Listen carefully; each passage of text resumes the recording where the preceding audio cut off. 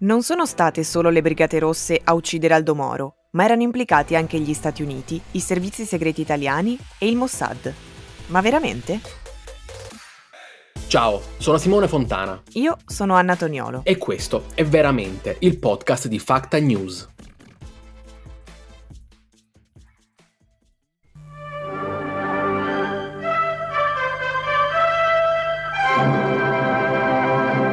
Buongiorno. Il presidente della Democrazia Cristiana, Aldo Moro, è stato rapito questa mattina alle 9.10 da un comando di terroristi mentre usciva dalla sua abitazione al quartiere Trionfale per recarsi a Montecitorio dove alle 10 era fissato l'inizio del dibattito, il primo dibattito parlamentare sul nuovo governo Andreotti. Alle ore 9.02 del 16 marzo 1978, in via Fani, a Roma, un comando delle Brigate Rosse bloccava l'auto sulla quale viaggiavano il presidente della Democrazia Cristiana, Aldo Moro, e due militari della sua scorta, insieme a un'altra auto con a bordo tre agenti della polizia addetti alla tutela del parlamentare. In meno di due minuti furono esplosi oltre 90 colpi di armi da fuoco. Circa 40 di questi andarono a segno, uccidendo i cinque uomini della scorta. Per Aldo Moro iniziava invece l'incubo del rapimento, un'agonia lunga 55 giorni che sarebbe culminata il 9 maggio con la morte del leader democristiano e con il ritrovamento del suo cadavere nel bagagliaio di una Renault 4 rossa. Quella che vogliamo raccontarvi oggi è la storia di quei 55 giorni, di ciò che è accaduto, o meglio, di ciò che le indagini e i processi hanno ricostruito sull'accaduto, ma soprattutto di ciò che non è mai successo. Perché il rapimento Moro è senza alcun dubbio uno degli avvenimenti più importanti e più complessi nella storia della Repubblica Italiana. E come tutti gli avvenimenti importanti e complessi, è stato molto spesso oggetto di fantasie del complotto e di ricostruzioni alternative della storia, che hanno provato a spiegare il rapimento chiamando in causa poteri occulti e mani invisibili. Ma vi chiederete perché ne stiamo parlando proprio oggi? Bene, perché l'ultima di queste teorie è stata presentata nel corso di una trasmissione del servizio pubblico, Report, che nella puntata andata in onda il 7 gennaio 2024 ha dato voce a una serie di aspetti che, secondo quanto riportato dal servizio, sarebbero fino ad oggi rimasti nascosti o che ancora, e cito, dormono nei cassetti. Il programma ha dato particolare rilievo ai lavori della seconda commissione parlamentare d'inchiesta sul rapimento e sulla morte di Aldo Moro, istituita nel 2014 e presieduta da Giuseppe Fioroni, e ha dato voce a Claudio Signorile, storico esponente del Partito Socialista Italiano, secondo cui lo Stato italiano sarebbe stato messo al corrente della morte di Moro diverse ore prima dell'annuncio dato dalle BR. Questo particolare, secondo il conduttore di report Sigfrido Rannucci, e cito ancora, testimonierebbe l'esistenza di una posta in gioco molto più alta, molto superiore rispetto alle dinamiche dei brigatisti. Secondo il servizio di report, infatti, nel caso Moro non sarebbero coinvolte solo le Brigate Rosse, ma avrebbero giocato un ruolo chiave anche i servizi segreti italiani e la criminalità organizzata. Questa tesi, va detto, non è un'esclusiva di Report, ma negli anni è stata rimaneggiata e arricchita da tutta una serie di altre ipotesi che vedono coinvolti soggetti più disparati, che vanno dalla loggia massonica P2 fino al KGB e addirittura al Mossad. Ma per capire cosa non è successo in quei 55 giorni, vale la pena partire da ciò che sappiamo, ovvero la verità processuale. La mattina del 16 marzo 78, quella del rapimento, Aldo Moro si stava recando in Parlamento per votare la fiducia al sesto governo Andreotti, quando l'auto su cui viaggiava fu intercettata e fermata da un nucleo armato delle Brigate Rosse.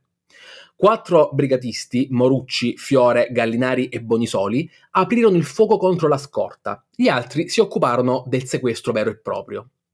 Il rapimento fu rivendicato da Valerio Morucci alle ore 10 e 10 dello stesso giorno, attraverso una telefonata all'agenzia ANSA in cui annunciò questa mattina abbiamo sequestrato il presidente della democrazia cristiana Moro ed eliminato la sua guardia del corpo. Teste di cuoio di Cossiga. Seguirà comunicato. Firmato Brigate Rosse. Durante i 55 giorni di prigionia, le BR chiesero invano uno scambio di prigionieri con lo Stato italiano, che si rifiutò di negoziare in ossequio alla cosiddetta linea dell'intransigenza sposata dall'intero arco parlamentare, eccetto il Partito Socialista. L'uccisione di Moro e la posizione del corpo fu comunicata ancora una volta da Morucci, questa volta con una telefonata a Franco Tritto, amico e collaboratore di Aldo Moro. È il professor Franco Tritto? E chi parla? È il dottor Nicolai. Sì, Nicolai. È lei, professor Franco Tritto? Sì, ma io voglio sapere chi parla. Brigate Rosse. Successivamente al rinvenimento del corpo di Moro in via Caetani si ebbero i primi arresti, quelli di alcuni brigatisti, e il 24 gennaio 1983 la Corte d'Assise di Roma inflisse 32 ergastoli e 316 anni di carcere a ben 63 imputati. Negli anni successivi furono celebrati tre nuovi processi, in cui vennero condannati altri brigatisti per il loro coinvolgimento in diverse azioni eversive e in alcuni risvolti del caso Moro. Per fare chiarezza su alcuni degli aspetti che più vengono manipolati dalla cosiddetta dietrologia, cioè quella serie di teorie e ipotesi che cercano di rielaborare la verità processuale, tentando di far sorgere dubbi nell'opinione pubblica e portando dettagli che spesso non hanno alcuna logica nell'intera vicenda, abbiamo fatto alcune domande a Vladimiro Satta, storico specializzato nella storia della Repubblica Italiana e degli anni di piombo, e è stato documentarista del Senato ed è autore, tra gli altri, del libro intitolato Il caso Moro e i suoi falsi misteri. Con lui abbiamo cercato di fare chiarezza su alcune delle varie ipotesi che circolano sul caso Moro, partendo dal servizio di Report, il cui tono, tra le altre cose, ha cercato di trasmettere ai telespettatori l'idea che esistano ancora molti misteri sul caso e soprattutto dettagli inediti che testimonierebbero una verità alternativa che prevede ad esempio il coinvolgimento di altri attori nel sequestro e nell'omicidio di Aldo Moro. Il problema di cosa stessero facendo i servizi che in qualche maniera rappresentavano gli interessi di Yalta, me lo ponevo eh, si è eh, consumato, dice l'ex ministro signorile, un patto oscuro probabilmente, addirittura indicibile per l'ex ministro Vincenzo Scotti e testimonierebbe l'esistenza di una posta in gioco molto più alta, molto superiore rispetto alle dinamiche dei brigatisti. Prima di tutto abbiamo cercato allora con Vladimiro Satta di capire da dove nascono queste teorie del complotto. Nel caso della vicenda Moro, le teorie complottistiche nascono più ancora dal rifiuto della ricostruzione giudiziaria e storica, secondo cui appunto le Brigate Rosse avrebbero fatto eh, da sole, che non dalla mancanza di qualche tessera del mosaico. Certo, quando si è in presenza di una lacuna, non è corretto riempirla con eh, la fantasia, specialmente se un tentativo del genere contrasta in, con le evidenze che invece sono disponibili. Ben inteso, la storia eh, si può benissimo perfezionare, rivoluzionare, si descrive, ma a condizione di avere solidi elementi per farlo, non meri sospetti o pregiudizi. E allora, addentrandoci nel vivo della questione, abbiamo cercato anche di capire insieme a Vladimiro Satta perché non è possibile affermare che le Brigate Rosse abbiano agito per conto degli Stati Uniti. Le Brigate Rosse erano formate da comunisti rivoluzionari, quindi anticapitalisti, anti-americani, anti-NATO. E esponenti americani e NATO, ad esempio generali Dozier che venne sequestrato e Hunt che venne ucciso, furono semmai tra i loro bersagli, anche se nell'insieme la lotta armata colpiva in grande maggioranza personaggi italiani. Mancano innanzitutto prove di coinvolgimento di servizi americani o anche di servizi di altri paesi, nonostante decenni di insistite ricerche in questo senso. Anche da un punto di vista logico-storico, del resto, l'ipotesi è addirittura inverosimile. Ora, perché mai le Brigate Rosse avrebbero dovuto mettere da parte la loro ostilità nei confronti dell'Occidente, della Nato e degli Stati Uniti proprio soltanto in occasione dell'azione più importante della loro storia, salvo tornare poi sulla loro strada e riprendere ad essere anti-americani e anti-NATO subito dopo. Non ha senso. Dal punto di vista degli USA e della Nato, specularmente, perché mai esse si sarebbero alleate con le Brigate Rosse e contro Moro? Le Brigate Rosse erano Stati, contro gli Stati Uniti e contro la Nato, avrebbero dovuto distruggere il capitalismo e il sistema occidentale, mentre Moro, al contrario, non mise mai in forse l'alleanza dell'Italia con gli Stati Uniti, l'alleanza atlantica, l'appartenenza del nostro paese al sistema occidentale, il modello di società capitalistica, le sue istituzioni liberal-democratiche. Quindi coloro che parlando del sequestro e dell'omicidio di Moro eh, evocano Yalta, lo fanno a sproposito, eh, non si rendono conto che ove mai il 16 marzo 1978 eh, qualcuno fosse sceso in via Fani in nome di Yalta e della divisione del mondo in blocchi, beh, questo qualcuno avrebbe combattuto in difesa di Aldo Moro e contro le Brigate Rosse, non il contrario. In generale poi si consideri che per i terroristi di ogni, di ogni paese, diciamo, ogni alleanza con esterni la stessa nazione o anche altri, è comunque rischiosa perché potrebbe eh, portare alla loro individuazione da parte di altre polizie, altri servizi segreti sulle tracce del nuovo alleato.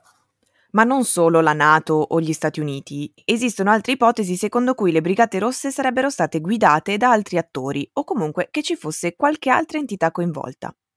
Ecco, in realtà, se si analizzano i fatti storici e le verità processuali, la veridicità di queste teorie viene frantumata. È irrealistico, per esempio, il coinvolgimento dell'andrangheta. Le Brigate Rosse ebbero origine al nord. Scesero poi a Roma e a Napoli, ma nel resto del sud furono pressoché assenti. L'andrangheta, a sua volta, all'epoca era un fenomeno calabrese e regionale. L'espansione poi che tutti conosciamo è avuta, eh, si è avuta in tempi più tardi. Le Brigate Rosse avrebbero rischiato molto alleandosi con un soggetto come l'andrangheta, quale fiducia potevano avere nell'andrangheta e in un criminale comune, nell'andrangheta come De Buono, che questo non aprisse il fuoco contro di loro invece che aprirlo contro gli agenti della scorta, tanto per dirne una. Le Brigate Rosse avevano bisogno di chiamare uno sparatore dell'andrangheta per eliminare un ostaggio? Siamo, Dio, ci rendiamo conto? Ecco. Quindi, quale fiducia potevano avere le Brigate Rosse nell'andrangheta? Anzi, avrebbero corso il pericolo di essere raggiunte casualmente da quegli inquirenti che invece di seguire le Brigate Rosse seguivano l'Andrangheta stessa se avessero tenuto rapporti con esse. Questo è un problema che si pone sempre alle organizzazioni terroristiche, che se fanno delle alleanze con qualcuno, specialmente qualcuno che non ha il loro obiettivo, ma ne ha tutt'altri, notoriamente, devono stare particolarmente attenti. E infine altre illazioni di coinvolgimento che riguardano tra gli altri il KGB o addirittura l'israeliano Mossad. È quindi possibile dare per certa la presenza di qualche attore diverso dalle Brigate Rosse? Possiamo darlo praticamente per esclusa, perché appunto non abbiamo avuto mai prova di questo. Per quanto riguarda le potenze, eh, possiamo anche aggiungere che sono state effettuate ricerche anche negli archivi di altri paesi, ad esempio archivi di paesi dell'Europa dell'Est, i cui regimi sono caduti, e non si è trovata assolutamente traccia di tutto questo. Eh, le Brigate Rosse, tra l'altro, non simpatizzavano per il comunismo di tipo sovietico, erano più un, per un comunismo di tipo terzomondista. E sappiamo quindi anche gli Stati Uniti non hanno trovato nulla a carico dei paesi dell'est, e i paesi dell'est non hanno trovato nulla a carico degli Stati Uniti. E questo credo che sia estremamente significativo. Eh, per quanto riguarda poi eh, il eh, Mossad, che interesse poteva avere il Mossad ad allearsi di nuovo con le Brigate Rosse. Il Mossad solamente aveva un interesse che si dimostrò nel 1972 quando cercò di avvicinare un tale eh, di nome eh, Pisetta. Eh, si può pensare che l'interesse del, del Mossad fosse quello di arrivare a mettere le mani sui suoi nemici giurati, cioè gli arabi, perché i brigadisti rossi avevano delle simpatie filo-palestinesi queste sono solo alcune delle dietrologie che sono nate in questi quasi 46 anni dal caso Moro, ma ce ne sono davvero molte altre e avremo bisogno di molto più di una sola puntata di veramente per analizzarle tutte insieme a voi. L'ultima teoria con cui vogliamo lasciarvi è quella che Signorile ha portato nella puntata di Report del 7 gennaio, secondo cui i vertici dello Stato italiano avrebbero saputo della morte di Moro già ore prima della rivelazione ufficiale della notizia. E lui lo saprebbe perché era stato invitato eh, dall'allora ministro dell'interno Cossiga a prendere un caffè. Come ha scritto Paolo Morando sul quotidiano Domani, questa dichiarazione di signorile è ballerina, per così dire, perché nelle testimonianze che ha rilasciato negli anni sui fatti, l'orario del suo presunto incontro con Cossiga e quello in cui i vertici dello Stato avrebbero ricevuto la notizia in anticipo cambiano e in alcuni casi sono inconciliabili con i fatti accertati. Ma non solo, Davanti alla Corte d'Assise di Roma nel 1982, in un lungo interrogatorio come testimone, Signorile non sfiorò minimamente la questione di quello strano orario. E anche nel 1999, davanti alla commissione stragi, quella presieduta da Pellegrino, nuovamente nessun accenno. Eppure non si trattava di una questione banale. Solo nel 2010 Signorile ne riparlò in un'intervista all'ANSA. E poi su questa questione c'è la presunta testimonianza di un artificiere, Vitantonio Raso, che intervenne quella mattina, la mattina in cui fu ritrovato il corpo di Aldo Moro, in via Caetani, il quale ha sostenuto di essere arrivato lì tra le 10.30 e le 10.45 e di aver parlato con Cossiga, che era già presente in strada. Non c'è però alcuna traccia delle sue relazioni di servizio ma soprattutto, se Signorile afferma di essere stato con Cossiga tra le 10.30 e le 11, orario in cui sarebbe arrivato l'annuncio della morte di Moro, come faceva Cossiga ad essere anche in via Caetani all'orario dichiarato dall'artificiere? Insomma, una serie di dettagli che non tornano e che non ci permettono di prendere questa questione come una verità alternativa sul caso Moro o un elemento capace di aprire dubbi rispetto alle verità fattuali che tutti e tutte conosciamo fino ad ora contrariamente a quanto fatto Report. Il problema delle dietrologie, di queste teorie alternative, appunto, è che spesso possono avere senso se vengono guardate in relazione solo al fatto del sequestro o della morte, ma perdono completamente forza nel momento in cui vengono contestualizzate nella storia di quel periodo, nei fatti che hanno preceduto e seguito il caso Moro, ma soprattutto crollano nel momento in cui ci chiediamo ma perché sarebbe dovuto andare così? E allora, arrivati a questo punto, vale la pena domandarsi cosa alimenti e abbia alimentato per decenni le più svariate ipotesi di complotto sul rapimento di Aldo Moro. Come ha spiegato su X il giornalista di fanpage Valerio Renzi, è molto probabile che la vasta produzione cospirazionista sul sequestro abbia a che fare con una sottovalutazione generale del ruolo e dell'organizzazione capillare della lotta armata di quegli anni. In questo senso, chi tira in ballo agenti esterni in grado di manovrare le BR lo fa anche e soprattutto per non riconoscere la matrice ideologica di quei fatti. Esiste poi una componente di fascinazione per i misteri, una necessità di riempire di significato i vuoti lasciati dalla storia, che nel caso del rapimento Moro sono comunque tanti, a partire dalla presunta seduta spiritica con cui l'allora professore bolognese Romano Prodi spiegò di aver ottenuto un riferimento a Gradoli, che si scoprirà poi essere la via in cui c'era un covo delle Brigate Rosse, interrogando gli spiriti di Don Luigi Sturzo e Giorgio Lapira. Qualunque sia l'aspetto fondante di questo tipo di complottismo, è importante segnalare la debolezza dell'apparato che lo regge, fatto spesso di coincidenze, testimonianze di seconda mano e congetture spesso prive di fondamento. Un vero e proprio format dei misteri italiani, come lo ha definito ancora Valerio Renzi, molto difficile da disinnescare. L'unico antidoto a questa narrazione è la ricerca storica e in questo senso ringraziamo Vladimiro Satta che ci ha aiutati a fare chiarezza su quello che è a tutti gli effetti il più appassionante e più divisivo fatto di cronaca nella storia italiana. Facta News è un progetto di debunking attivo dal 2020 e si occupa di verificare le notizie. Scegli a chi non credere è il nostro slogan e sintetizza il nostro obiettivo, segnalare ai lettori quali notizie sono vere e quali no. Seguiteci sul nostro sito www.facta.news e sui nostri canali social, Twitter, Facebook, Instagram e TikTok. Ci trovate anche su YouTube e abbiamo un numero WhatsApp interamente dedicato alla corretta informazione. Per contattarci basta scrivere ciao al 342 1829 843. Per rimanere aggiornati sugli articoli che pubblichiamo e sulle principali tendenze della disinformazione, potete seguire il nostro canale Telegram e il nostro canale WhatsApp. Il podcast di Facta News è scritto da Simone Fontana e Anna Toniolo. È prodotto da Jessica Mariana Masucci. Io sono Anna Toniolo e questo era veramente il podcast di Facta News.